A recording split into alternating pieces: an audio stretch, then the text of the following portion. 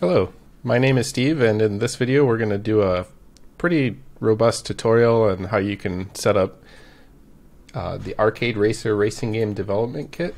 So this is the package I wrote and it, I've spent about four years iterating on it and this is the final version. Um, so everybody who has racing game template, you get this for free. And this tutorial will show you how to set up basically all of the the initial first steps and go through the workflow so you can actually get to the point where you can start editing and creating your own game. So in this video, I'm using Racetrack Generator. I'll use that to create a new race scene.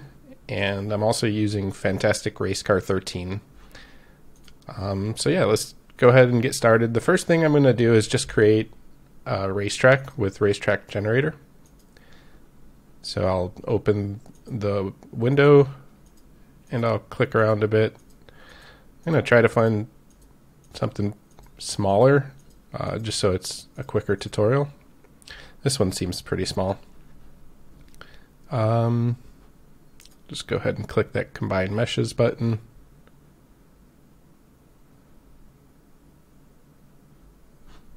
And then that saved the racetrack for us probably should have read the folder that it saved it to, but it looks like it's right up here. So actually, let's go ahead and delete this and bring in the combined one.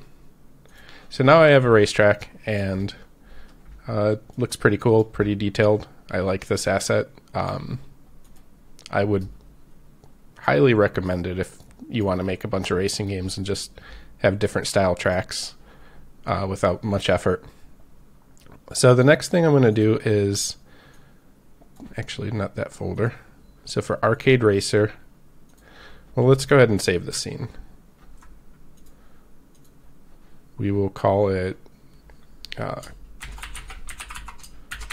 custom track. And next I will go into the game template Windows standalone. And when you import this package, um, you should get a notification, but it looked like it didn't pop up for some reason. If it doesn't, uh, you could select Tools, turn the game on, Arcade Racer, Welcome window, and uh, you basically just want to import your project settings. So you press this big button in the middle, Import Project Settings for Standalone Game Template, and then what that gives you is the editor build settings, the input manager, and the tag manager. Just go ahead and import those. So now if I go to File Build Settings, we can see all of the build settings are set up for us now. So we have the main menu, the vehicle select menu, the open world, race defeat, race victory screens, and the quick race screens, uh, or quick race scenes. Um, so now what I want to do is I guess we could go about this two different ways. So we can go into the scene that's set up for quick race zero, and we can we can redo this scene, um, which is kind of the way I would recommend. Also, notice when I opened a scene, it says it wants to import TextMesh Pro Essentials. Go ahead and do that. So any scene that uses TextMesh Pro, it'll prompt you for that uh, because TextMesh Pro is not installed by default. All right, so so now we're in our quick race scene, and it and basically in this scene we have some spawn points. We have a race manager, checkpoint manager, race information UI screen, uh, race completed UI screen. We have three different AI waypoint routes, standard event system, and uh, a function that will reset the player to the current waypoint. If they become lost, they could press the R key. There's a shake transform manager um, that just makes the camera shake when you hit a wall or another car. An AI material manager. This just populates materials dynamically for the AI racers. And a bunch of environment geometry. And then we have just a default camera. So let's say we want to replace the art in the scene. Um, what we're going to do is we're actually going to get rid of these three AI waypoint routes because we'll we'll create our own, and the race manager has a reference to the waypoints. So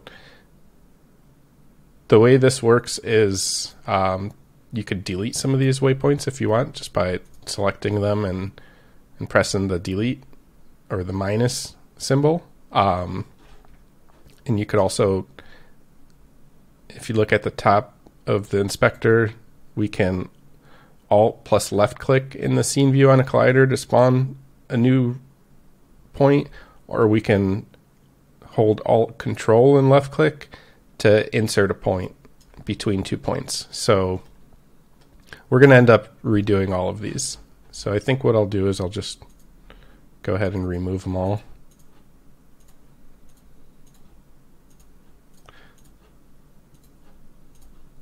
Maybe I'll create a function to automatically reset this. Uh, you could also just add your own race manager to the scene and then assign the the camera and the audio clip for the race timer and you can have this canvas enabled on complete um, i'm just reusing the scene as a template scene so we don't have to make some common configurations like that all right so now there is no waypoints but when we press that button it doesn't delete the waypoints from the scene so what you'll want to do is also make sure that you go and delete any child objects. So anytime you use that waypoint list to manually delete one of the nodes from the list, you also need to delete it from the scene. Um, just keep that in mind. So now we have a basic scene. Uh, it's all ready. Let's go ahead and actually delete the. Let's see, what do we got? We have a mini map environment texture. I'm not going to delete this yet. I'm just going to disable it. And we have racing post. That's not going to be needed. The directional light. We're going to want to keep the directional light. And we'll want to keep the minimap environment texture. We're just going to need to replace that texture at some point. So now we can just disable that. And this is what the minimap environment texture looks like. It's just a plane with an unlit material and it uses a top down screenshot of the scene and and that's it so what you can do is orient the camera the way you need it to be uh, if you have a high resolution monitor you can put this at 4k you could also d- really do whatever whatever you want to take this screenshot but basically i just take a screenshot and then place that in the scene and align it with the geometry uh, in orthographic mode and that that's basically it. Um, so now that we know what's in the scene, we can go ahead and disable this. We've basically talked about everything so far. Um, disable the checkpoint manager. This is just going to be a standard race. Um, so now what I can do is I can just take that custom track and I'll bring it into the scene. Could have just dragged the prefab into the scene as well. So now we have our custom track here. And actually, just so it's a little easier, I'm going to go to Window, Rendering, Lighting Settings, and disable the fog. Actually, I'll. Let me see. Yeah, I'm just going to disable the fog so it's easier to see. Put that lighting tab over behind my hierarchy for right now. All right, so now I have a racetrack in the scene, and you know what I also want to I want to hide the UI for a little bit. Um, and I don't recall off the top of my head how to do that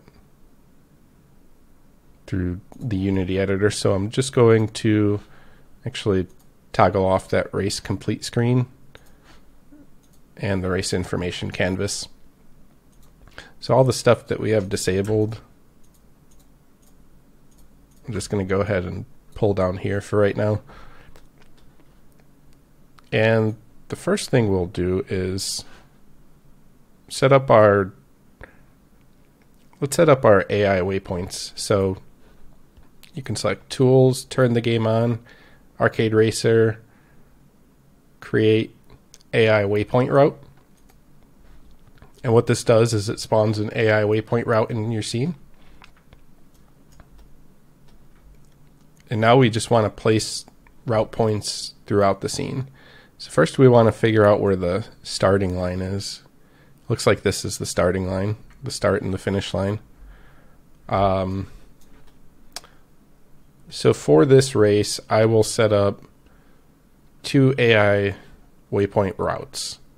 And the first one is the one we're setting up now. So let me refocus my camera.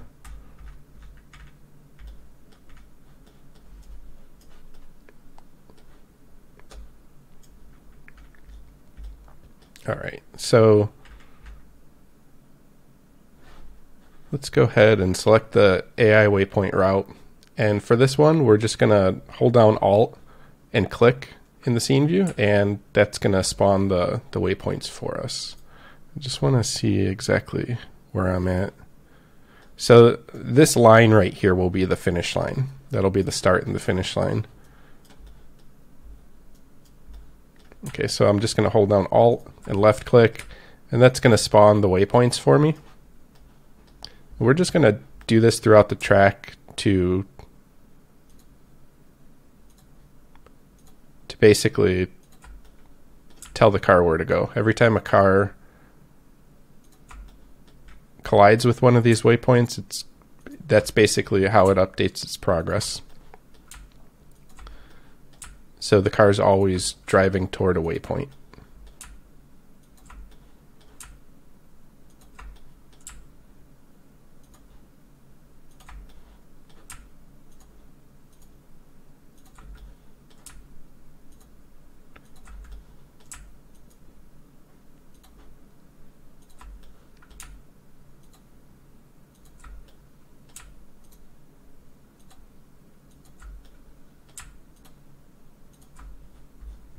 Let's see how big this track is.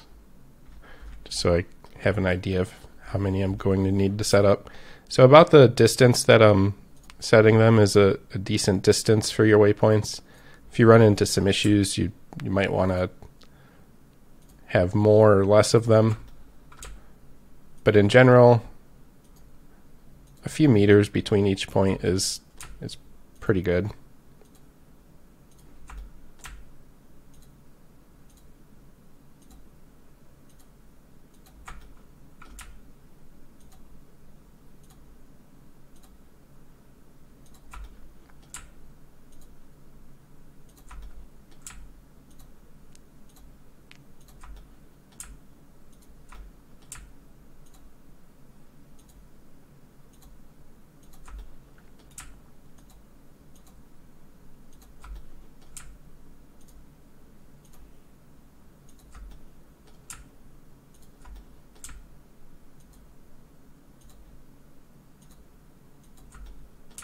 The nice thing about Racetrack Generator is it gives you a really nice optimized racetrack with almost no effort, which is really good for prototyping because if you're just trying to figure out what you're trying to build, you just make a track, toss it in the scene, and set up some waypoints on it,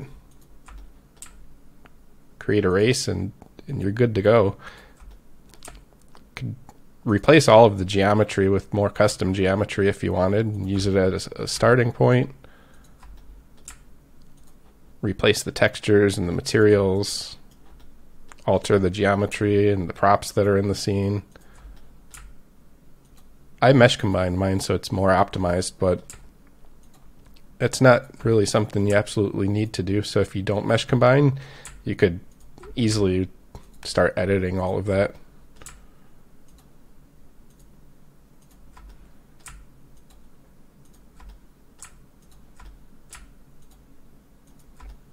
So if I could make a, a future update to the system, I would I would like to add splines so that this path creation process is a little quicker. Um, but to be honest, there haven't really been very many sales of the asset. Um, I haven't sold a single copy at its new price point. During the Unity sales, I've sold a few, but honestly, this this asset pretty much died because I increased the price and it's too high. And Unity doesn't allow us to change it once we participate in a sale. So I'm kind of stuck at a point where I've created this project and it's not selling and there's so so there's no revenue coming in. Um, I think last month my my payment was thirty five dollars from the Unity Asset Store, so I I didn't actually sell a single copy of this, and yeah, I I just I can't continue to dedicate time to this project if it's not going to sell, and that's kind of where I'm at right now. So I, I'd like to continue to improve it, but without any sales, there's there's just no it's not feasible. Um, I need to do stuff that'll make money, not not continue to invest in something that is current. Like if you wanted this, you could find it for free from people who are pirating my asset, which kind of sucks. But I, I, guess that's the way the world is now. Um, so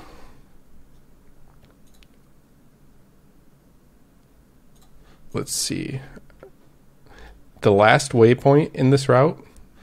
So each waypoint will have a car AI waypoint script attached to it. And that's really the primary thing that you're going to want to edit. You could also turn off the mesh renders for all of these, um, which you should. So we'll expand the onReach waypoint settings and we'll select a new route point. And for this new route point, so we're currently on the final waypoint, which is 164 we'll go ahead and we'll assign um, a new route point. And for some reason, when I laid out all of these waypoints, they didn't get their parent route assigned. Maybe something in the Unity API changed. Um, but the parent, or actually, you know what? I think that's, it's been a while since I've actually jumped into this project. Let me just check something really quick. Maybe that's assigned on awake? No, it's not. So that's a bug. I need to fix it. Um, all of these AI waypoints, they should have their parent route assigned, and that's just the the parent object, which is this car AI waypoint route. Um, so the next thing we want to do with these route points is we're going to enable use speed limit and for right now, we're just going to set the speed limit to something like 50. And that's really all we need to set. So for each route waypoint, you can set a different speed limit, and that'll basically slow the car down uh, and and cap the speed at whatever speed limit you set. So again, all we did to these waypoints was we made sure the parent route was assigned. We um, we we assigned the final route waypoint. The new route point is set to the first waypoint, and that creates a loop basically. Um, so now at this point, and we also set a speed limit. So we can actually start, let's see. I'm to adjust these points a little bit. So this point I'll just so I could kind of get well, let's see. Actually no, this this is perfect actually. Um, so yeah, we do need to create another route now. Uh, so there's a hotkey for that, Control Alt R, or you could do it from the window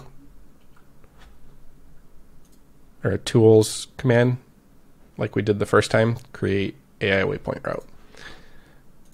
So with the new route selected, I'm pretty much going to go through the same process. And this is why I would like to have some splines because then I could use some different logic.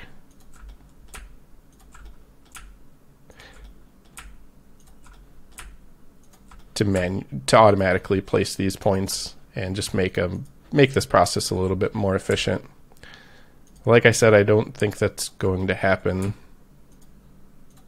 because of the current state of the project.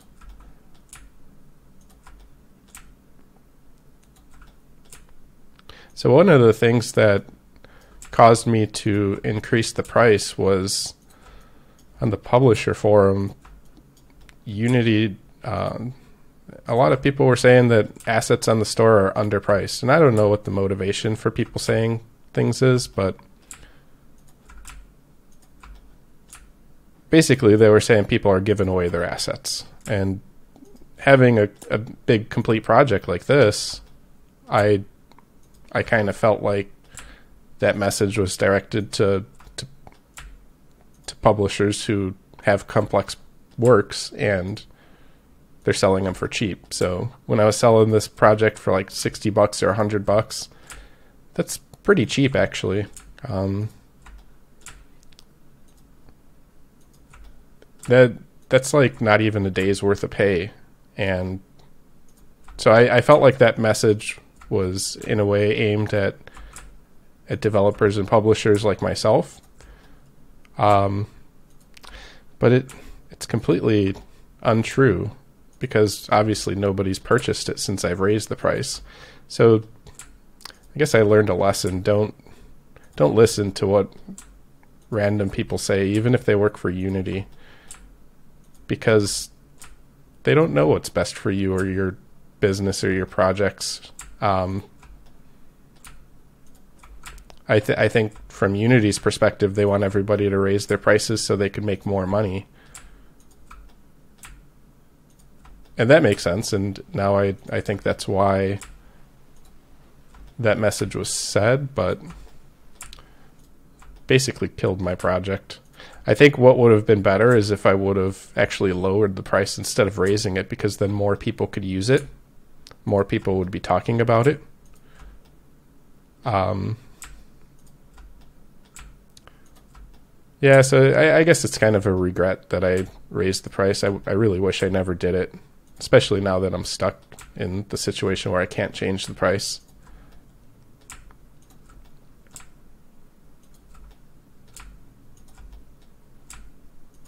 I don't know why I'm zoomed in. It's probably faster if I zoom out so I don't have to keep moving the camera.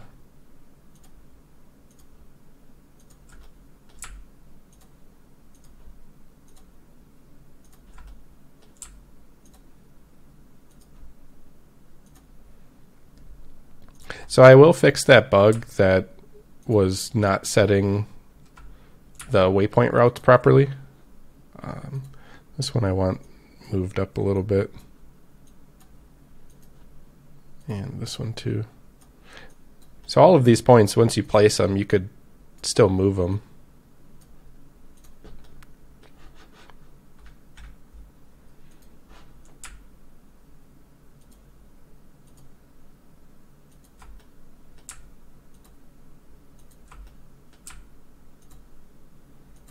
And there is a gizmo setting for these as well. So if we ping the the AI waypoint route settings, we could enable the gizmos, and um, yeah, that'll just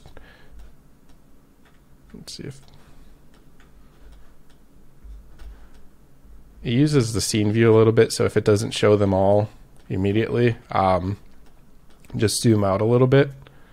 So so now we can see where our waypoints are. We could see that some of them are not aligned perfectly, and you could go back and and adjust all of the positioning for these as you go.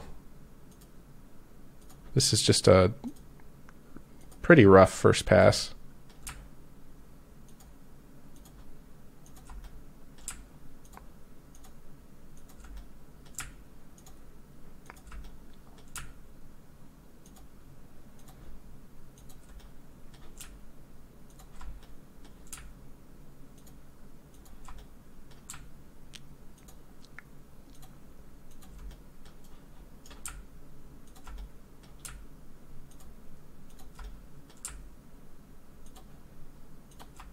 And I don't really get much feedback for this project. I I get people that tell me what they want. Um, so if you could, if you're using this project, if you have any specific or tangible feedback, that's always useful and appreciated.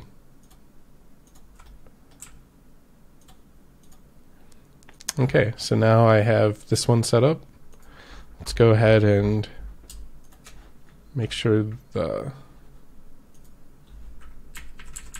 Ah, that's interesting. So,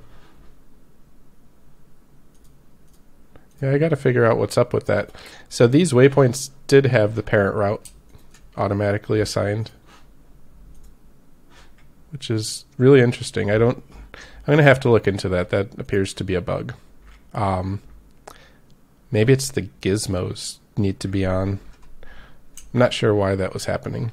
Anyway, I'm going to select them all and enable use speed limit set that to 50 and then I'm going to set this path up to loop so I'll grab the final waypoint number 164 and assign the new route point as 1 and when we do that you can see that there's a line drawn between the final point and the first point indicating it's a loop. I'll just remove that so you could see how if it's not assigned there's no line and if it is assigned you have a line so at this point, we have two AI waypoint routes that our cars can drive on. Let's go ahead and set up the spawn points for these routes. So I have 12 spawn points in the scene, and these are just objects that use. Um, they're they're basically just for visualization. The only thing we need is the transform position and rotation. Um, I'm going to take all of these and just kind of nudge them into place, and then I'm going to move them as necessary.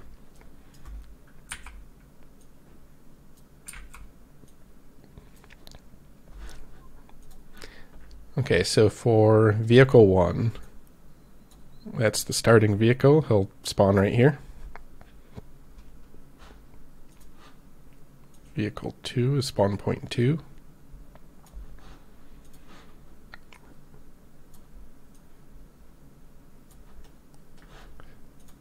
And these are these objects basically just have a a mesh on them so that we can visualize what the car will look like. Um, you could remove that so you don't have that mesh in your scene.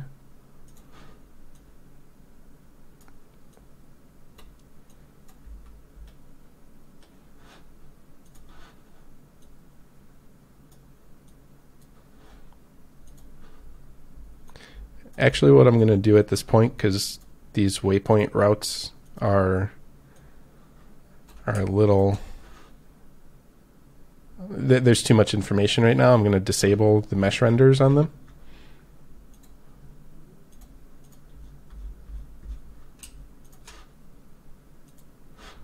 Okay, so now we can see a little bit more clearly. Let's also on the waypoint route settings, disable the gizmos so that we can see. Now there's not a bunch of stuff just in our way.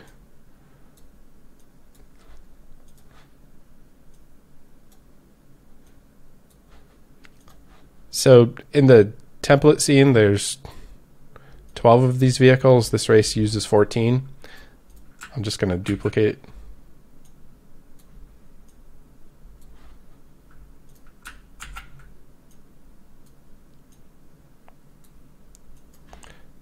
and I'll rename these appropriately. So 13 and 14. Now I don't think these are on the ground, but I, I definitely need to to orient them a little bit better. So I'm going to reset the X and the Z orientation. Um, I'm going to align the height. And for this scenario, I'm just actually going to place them slightly above ground. So if your cars are falling through the ground, it's likely due to these spawn points being too low. So now that they're all in place, I'm just going to tie them in a, a little bit more. Make sure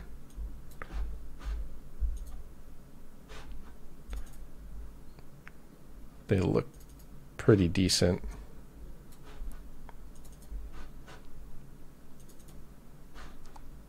For the most part, I think I did an okay job.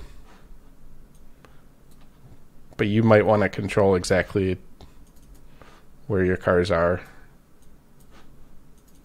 And this is how you would do that. I have an extra one. Okay. So all of these back ones are going to need to move.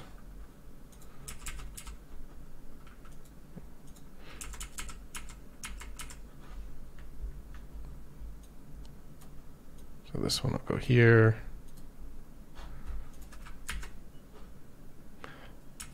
Let me just drag all of these back a little bit.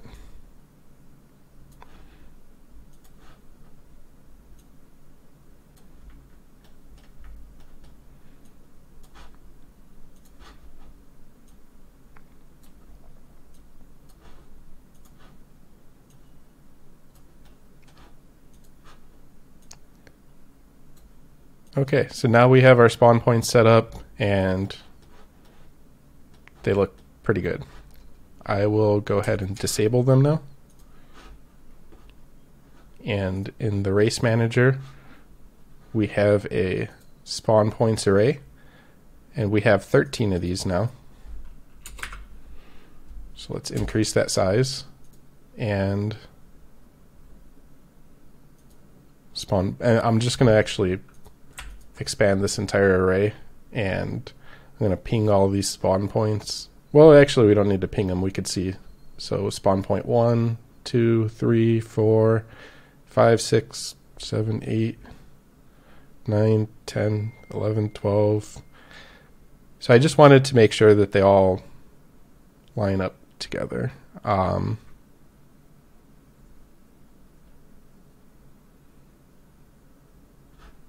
Okay. So the reason there's only 12 here is because it's an array and we're starting at 1 instead of 0. So the other field in this array next to the spawn point is the starting AI point or the starting AI route that you want that vehicle to go on. So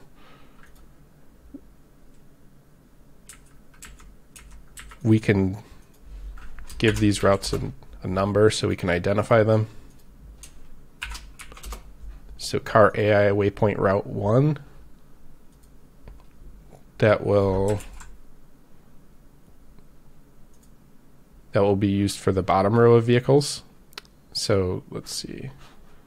I guess I do need to turn these on. So that will be all of the odd numbers. We'll use waypoint 1. Let me just turn these on and make sure. So all of these on the bottom 1, 3, 5, 7, 9, 11, 13 those will all use waypoint route 1. So let's go ahead and assign those.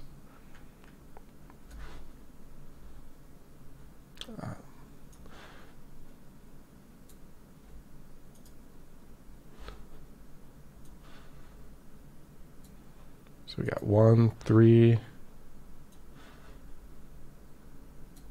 five,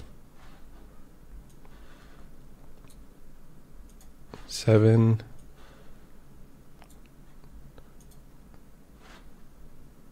nine, eleven, and thirteen. What does that say? Twelve. I don't think I changed it. Okay. And all of the top row vehicles those will use AI waypoint route 2. So basically, that's everything that's not assigned yet.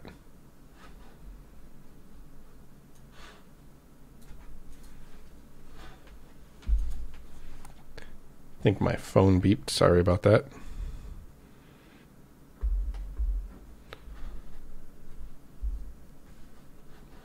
All right. So go back to the race manager and we'll assign the even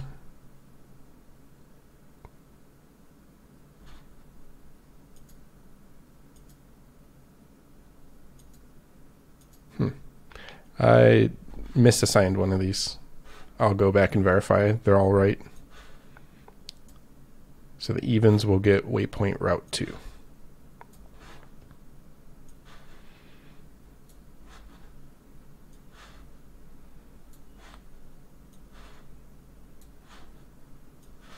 So now what this does is whenever a vehicle spawns into one of these spawn points, it's going to assign, if it's an AI vehicle, it's going to assign it to that AI waypoint route. And that's basically how that works.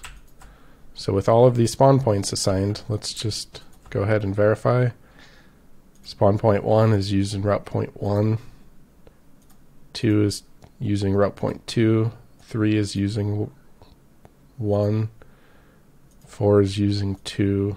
5 is 1, 6 is 2, 7 is 1, 8 is 2, 9 is 1, 10 is 2, 11 is 1, 12 is 2, and 13 is 1. Okay, cool. So those are all set up properly. So now we have set up our spawn points, we've set up our waypoints um, let's go ahead and create a a plane and we're just going to make this pretty pretty big.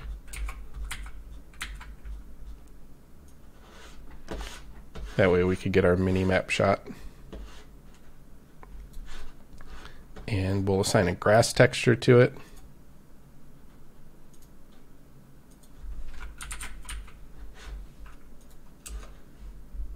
Yoke. I don't like that grass texture. Um,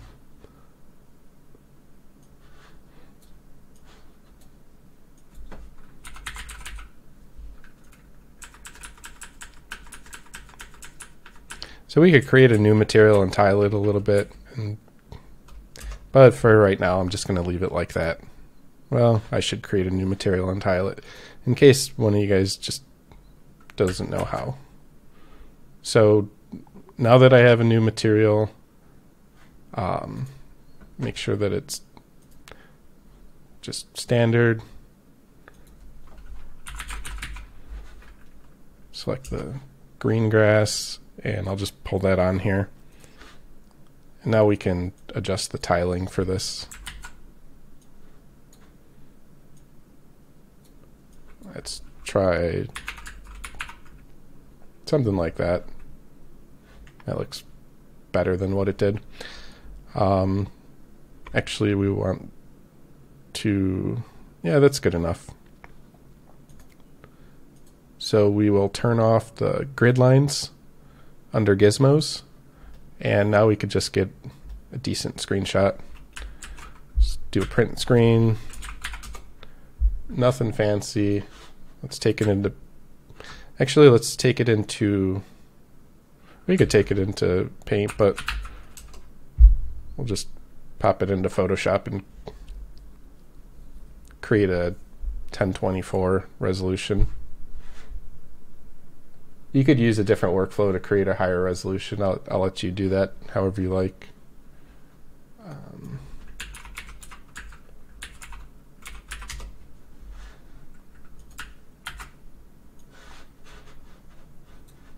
Okay, so I just basically pasted that in here and let's see.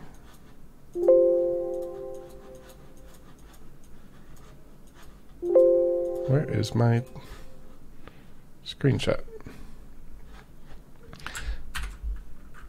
Okay, so let's just paste the entire screen there and just grab this. That's easier. Control C. And then we'll paste that in, Control T, uh, T and scale it up a little bit. There we go. And we will do save as PNG and we'll just save it as minimap1. Wait for Photoshop to finish saving. If you grab files from Photoshop before they finish saving, you could have issues with them in Unity. Um, so if any of your textures end up becoming corrupted, that could be the reason. So now I'll just bring this mini map in.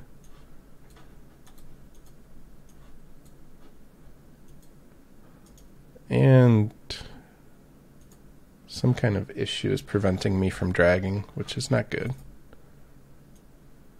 Not good. Um, I'm going to pause the video and restart in a moment. Okay, so I'm back. I had to restart the PC to fix that bug. I don't know why that happens. Sometimes it does, though. All right, so I'm going to bring my mini map texture in, and now I have a 1K screenshot that I can use. And let's go ahead and assign it. So this mini map texture was used here. Um, so this scene is actually, this racetrack is actually a lot bigger than the default racetrack that was included. Um, so what I'll do is I'll just grab this mini map and I'll duplicate it and assign the new texture.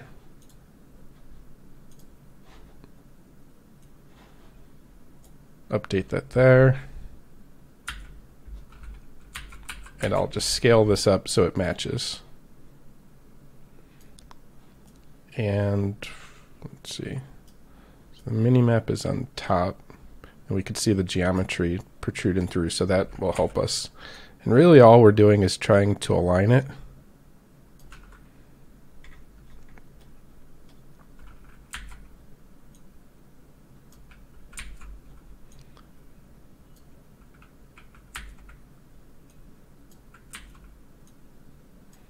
That looks pretty spot on, actually. I love it when that happens. Okay, so cool. And then I will just pull it down under the geometry a little bit. So this mini map is set with the layer mini map. The mini map camera will only render that layer.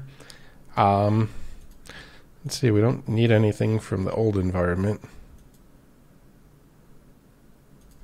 We will turn those scene components back on, but I think what we need to do first is Let's see. Make sure we spawn. There's one more step. We need to set up the actual race manager checkpoints. Um, so the, these are primarily used by the race position tracking system. Um,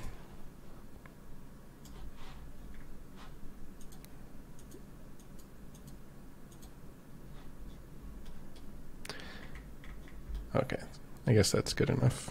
Um, so they work similar to the AI waypoints. You're just gonna spawn them where you need them. Uh, so I'll hold down Alt. I'll, I'll just uh, basically put them at random points. For the most part, evenly spaced. I guess it's not really random since I'm evenly spacing them.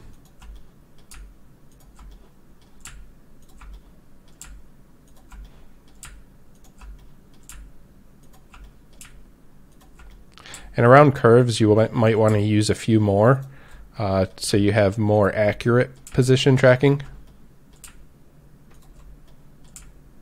Basically, the vehicles use these to determine how far along on the racetrack they are. And the final point will be basically the finish line point.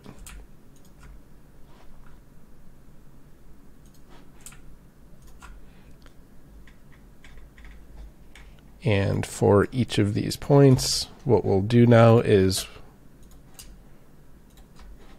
we will increase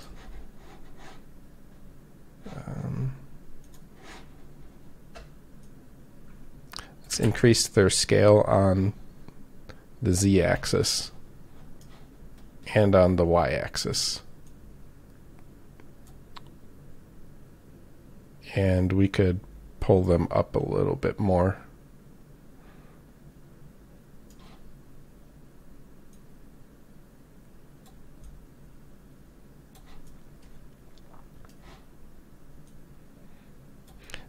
Just to be sure, I'm, I'm just going to make them even bigger. And I'll just make them a little wider. Make So if the car does not hit these waypoints, its position tracking is not going to work properly. Now for each of these waypoints, I will go ahead and rotate them a little bit.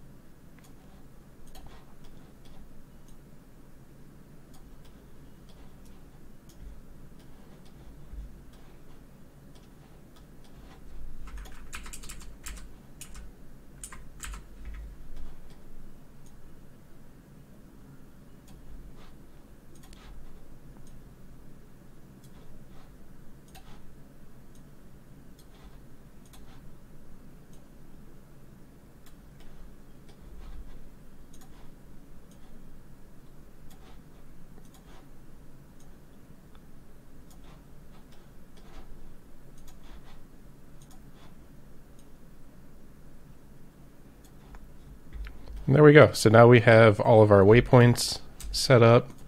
Let's go ahead and disable the mesh render. And I think that's about it. Let's go ahead and enable those disabled canvases in that checkpoint manager. Um, so yeah, we basically just customized the first template scene in the quick race system. You could duplicate these if you want and just create as many races as you want. Now, what I'm going to do is um, go back to the menu system. So many folders open.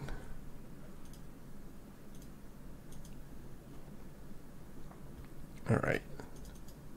So game template main menu. And here we have our canvas quick race selection screen object.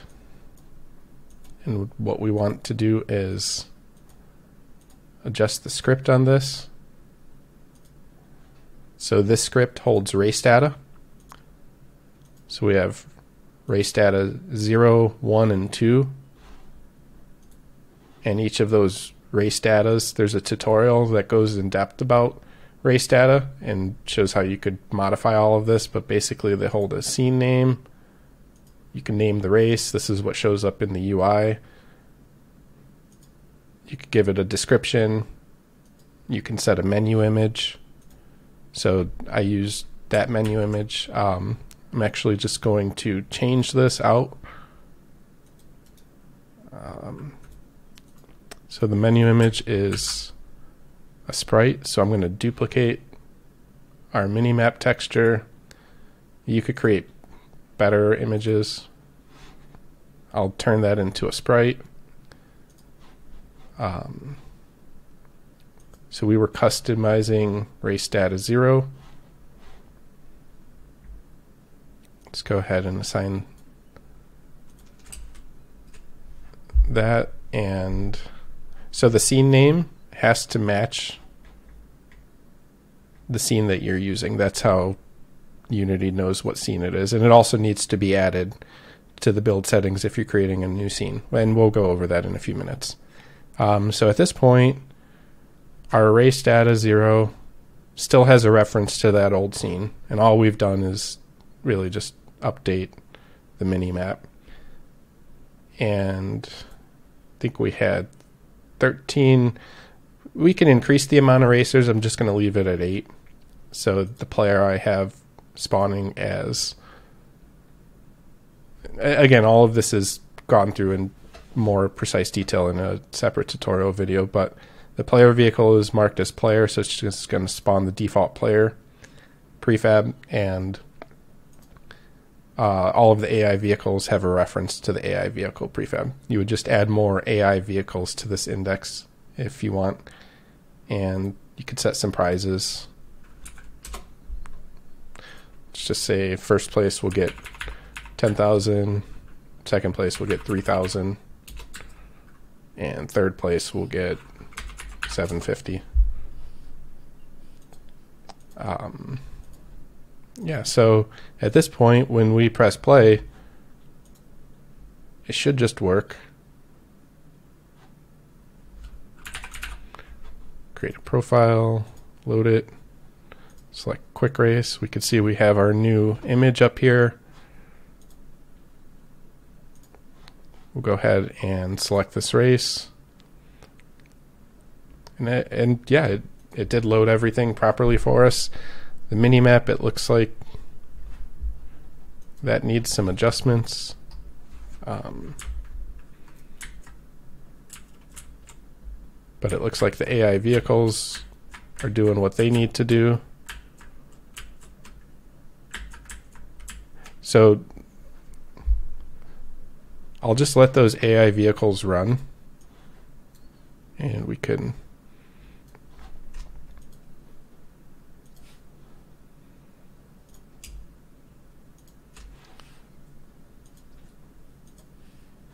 I don't know if that's going to make them more visible. Oh, put the gizmos on. No, we still can't see them from far away. But so they're they're following their paths at this point, and let's go ahead and take a look at the mini map because that's something that we need to adjust. So specifically, what we're looking at is the size. So the mini map is set to orthographic projection. Let's play with the size and just increase this a bit.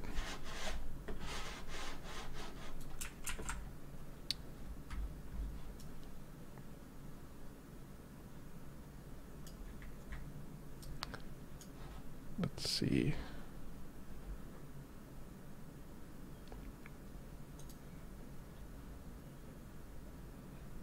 So for some reason, can't see it right now.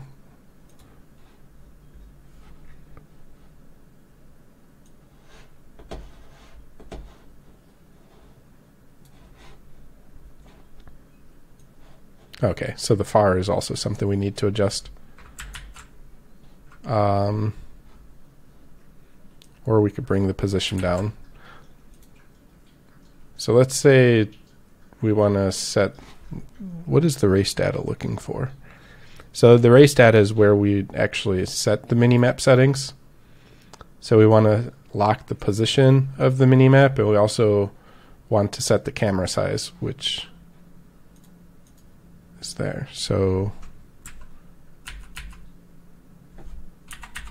All right.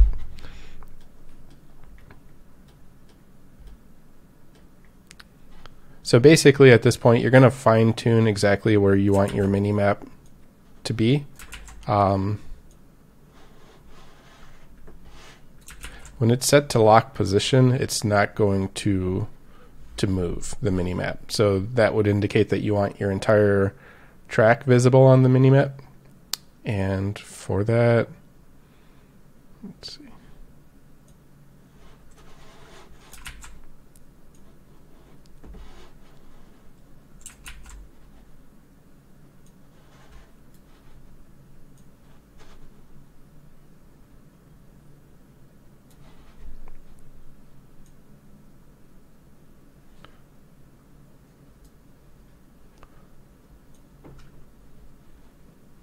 We could rotate it if we want. We basically have all of the basic controls that we need, but it's really up to you to customize how you want the mini map to look. Um, I'm actually just going to leave it right around here. So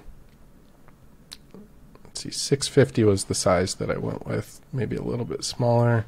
Let's do 620. And the far of the mini map clipping plane is it basically just needs to have the mini map within view. And the grass is also pulled way down too. So that's just something that you could clean up. Um, but from from that sense, let's just go ahead and set this. Create another tab for the inspector. I'm just going to lock one so I could see the values that I need as I copy of. So the transform position that we're setting and all we adjusted was X and the size is changed to 620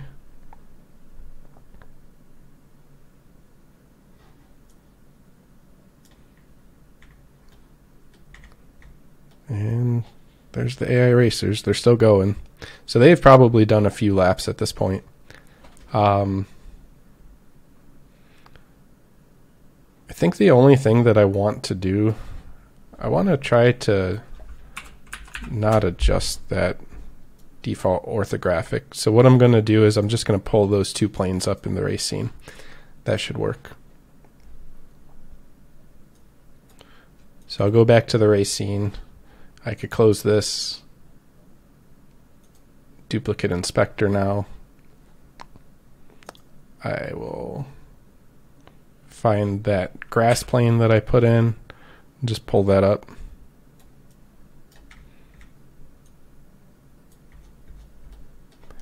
And the same thing with the mini map plane. Just pull that up a little bit.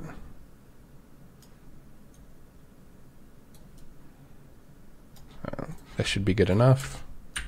I'll save it, jump back into the main menu.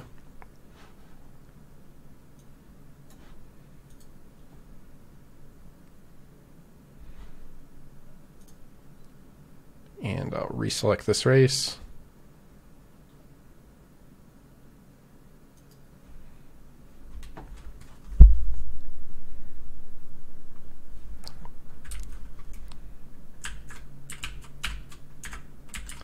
And this time I'll I'll just go through and I'll race. Uh, we saw that the racers were were going around the track with no problem. So for a race like this, I would probably disable the waypoint arrow. Um, which it seems like it's going a little slow.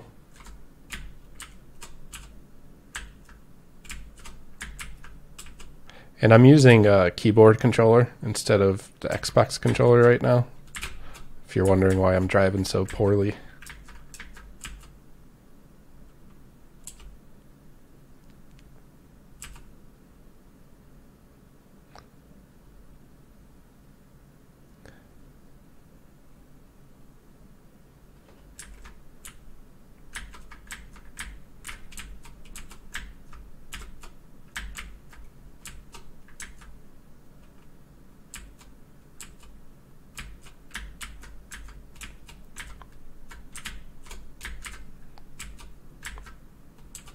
Now, when the player hits the final checkpoint, the, the race is over and the default camera is enabled in the background. So if you want to change what what kind of perspective you get, you could play with this camera a little bit. You could put a UI piece back there, but but basically that's what's happening. Um, so we won and the other racers are still racing. Just go ahead and click continue. We completed the race, and that's it.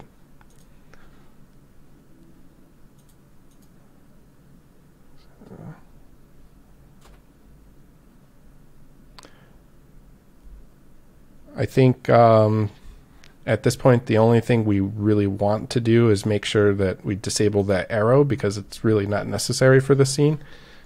So I will disable show waypoint arrow and I'll save the project. Anytime you change a scriptable object, you want to make sure you save the project. I'll jump back into that race. And there we go. The waypoint arrow's off. And that's about it. So we've completely customized the first race in the template. And if we want to create another race, we can just duplicate that race. Uh, we'll call this race 4 and we'll actually need to duplicate the scene as well. Um,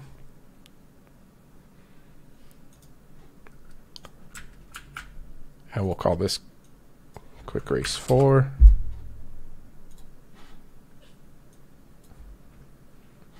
So race data 4 will load scene quick race 4. We'll just call it test. And description test. And yeah, that's about it. Um, so at this point, you can customize the scene any way you like. We'll save the project again and go to File, Build Settings. The new race we made, we'll make sure to add it to the build settings.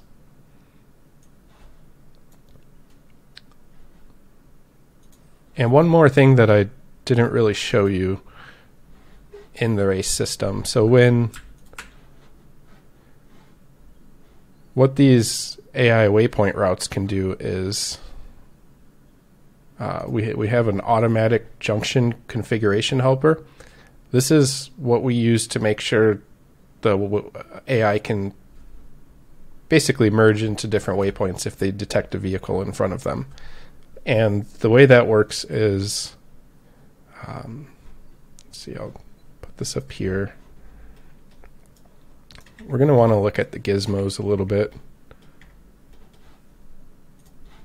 So select the route settings, enable the gizmos again. I'll zoom out so I could see everything. Select both routes. There we go. Um,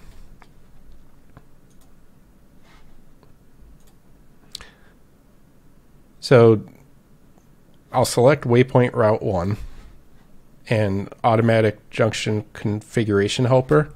I'll drag waypoint route 2 in there and then a button will compare will appear. And what this does is when you when you press it as long as there's the same amount of waypoints for each route, well it, it won't error out, but what it's going to do is it's going to assign junctions to adjacent waypoints. And that's basically what we just did. So now you see there's another line with an arrow that says if if so if waypoint 163 is the current target for the AI waypoint or for the AI car and it detects a vehicle right in front of it, it will change to to waypoint 154 in the adjacent route that's configured. And we could do the same thing in the opposite direction. And now we have the ability for the cars to change lanes. And if you have multiple routes, you could just set up multiple junctions so that AI cars are able to traverse the routes. And at that point, we'll save the scene and just turn those off. Let's go back into the main menu. We'll press play go to quick race selection and here we're gonna let's see we only have three oh I still need to assign that new race data to to this array in the menu so I'll assign race data 4 as the new index now I'll hit play And here we have our test scene with our description test. Let's go ahead and load into it. Every time I press play, I keep picking up the Xbox controller. And yeah, that's basically it. So now what I'll do is... So that car, let's see It's going to be hard to try to chase these guys down and, and make them change lanes, but they're going to use their sensors, and if there's ever an obstacle or you're in front of them, they'll start to change lanes. As you adjust physics settings and start customizing the races, you could create scenarios where it will just trigger that. Um, so at this point, we've gone through the race customization and configuration process, which should really let you get up and running, create your own races, customize your races, and just get you to a point where you can actually work with the template to create a, a project.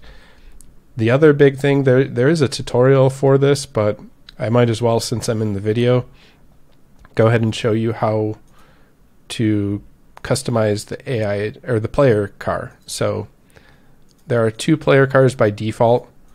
Let's say we want to create a third or we just want to customize it. It doesn't matter. I'll just create a third.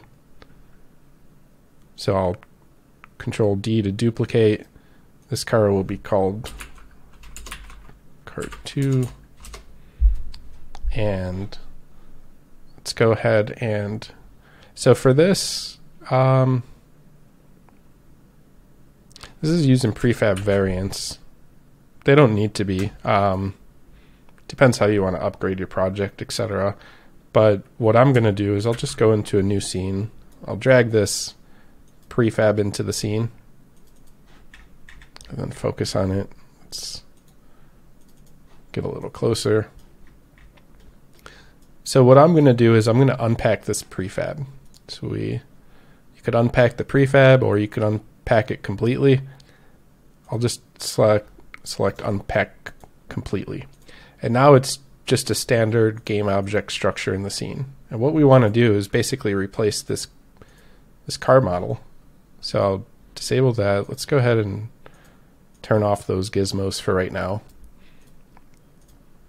Um, I did bring in that fantastic race bowl T T bowl race car. Let's find the prefab. Go ahead and drag that in here. And what we want to do here, and you could get more detailed instructions in the actual tutorial video, but we want to assign the wheels. So let's go ahead and delete this car model. Now we could see what's missing. So we need to assign the the mesh and the mesh transform for each of those four wheels. I'm going to unpack this prefab completely too. And I'll just put all this stuff up one. So front right wheel, we'll take wheel R. and front left wheel, we'll take wheel L. Back right wheel,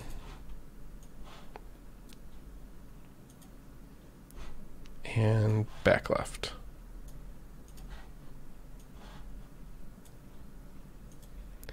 And the next thing I'll do is I'll press this align wheel colliders button. So for the colliders, let's go ahead and these are the colliders that we're adjusting. And I disabled the gizmos. I think that's why I can't see them. Let's just make them a little smaller. Yeah, there we go. And let's go ahead and hit that align wheel colliders button. And that for the most part, you've probably seen the wheel colliders move into place, but we need to adjust the radius as well as the Y position. So we'll move these down a little bit.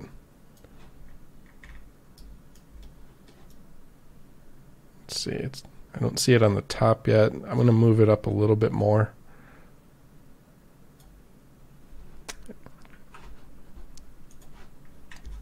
Actually, when you're doing this, you should get into orthographic mode, which is what I'm in. Um,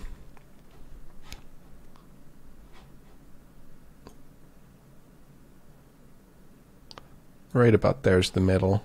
So let's try 41.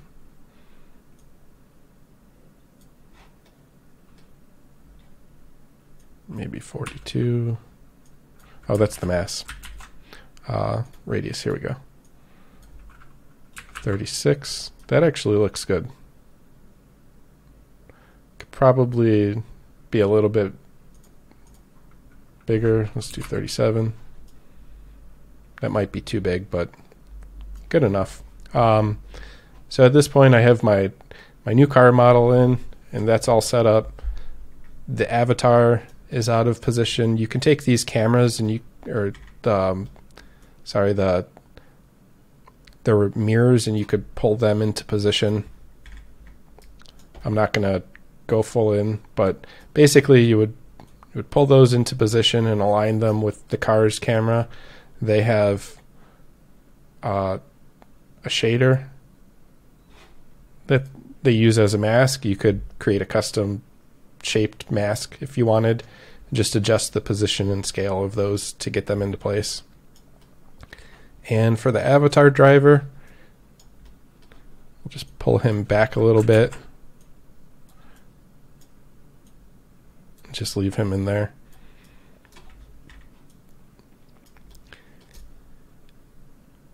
Basically, you're just trying to align him as best you can.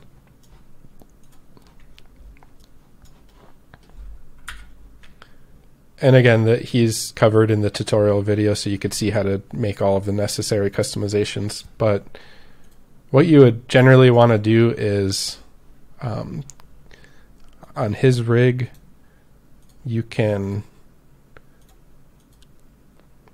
replace the steering wheel with the one that comes with the car. Um,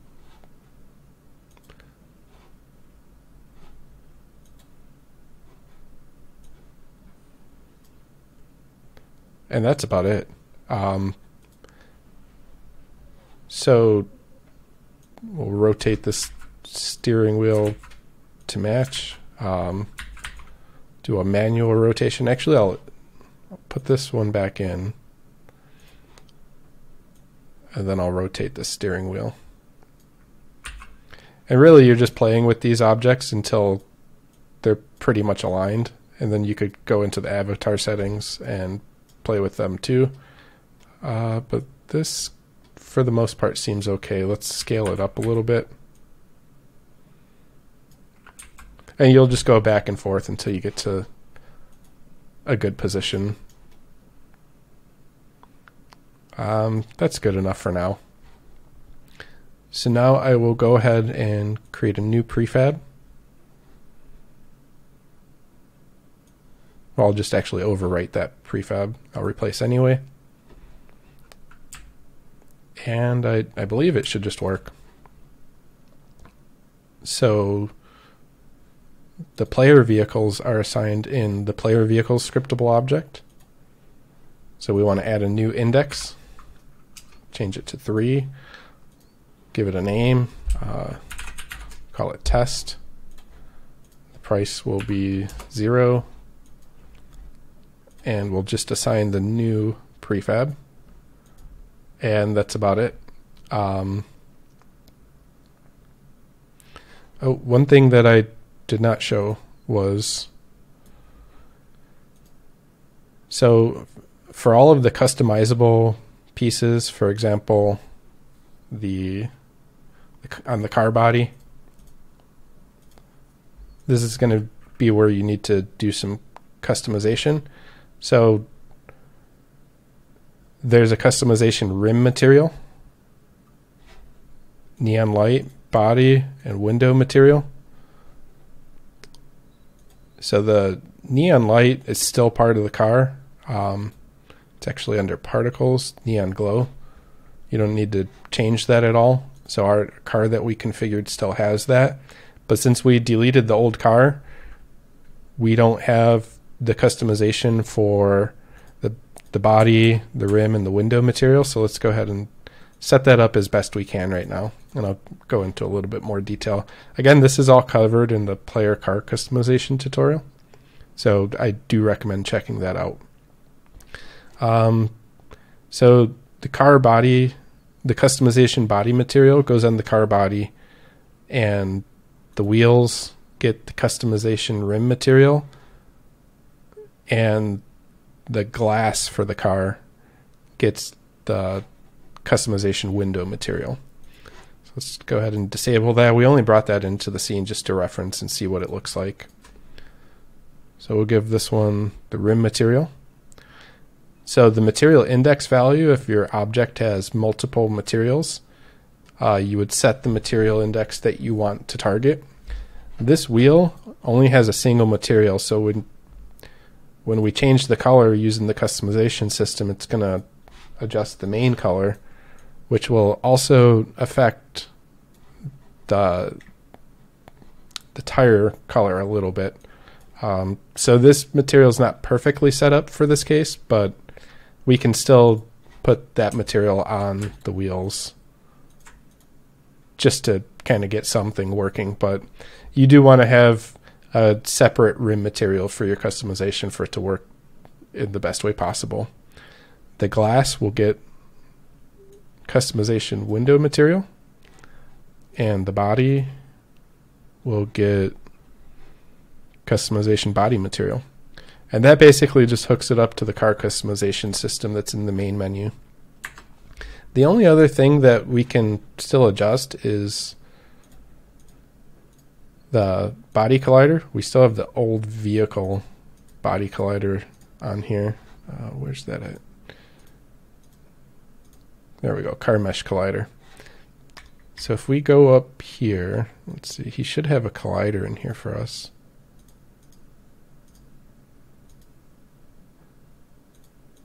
Maybe he doesn't though.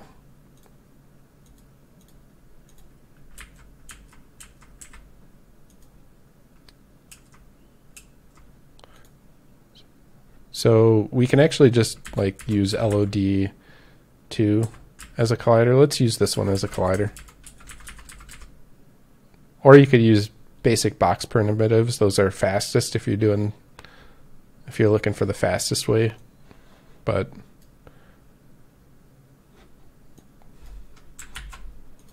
so we'll assign that new collider to the mesh filter and the mesh collider. And it looks super tiny. It's got the wrong orientation. Um,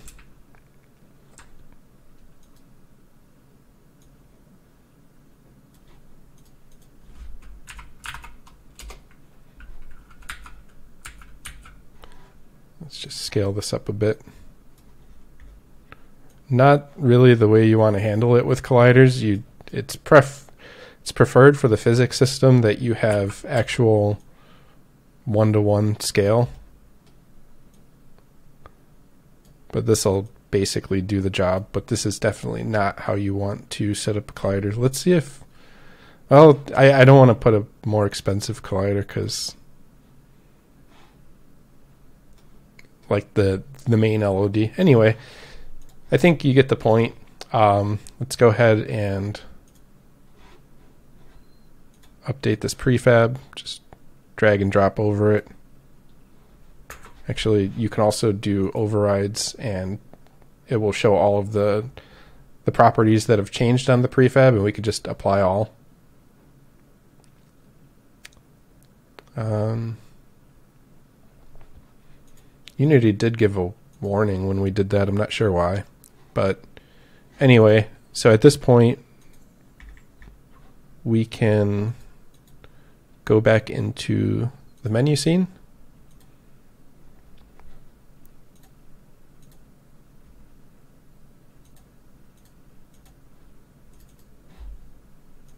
We don't need to save that scene.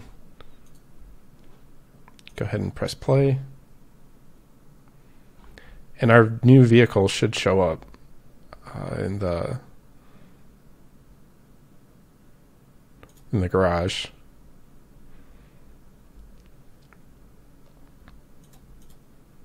And here we go.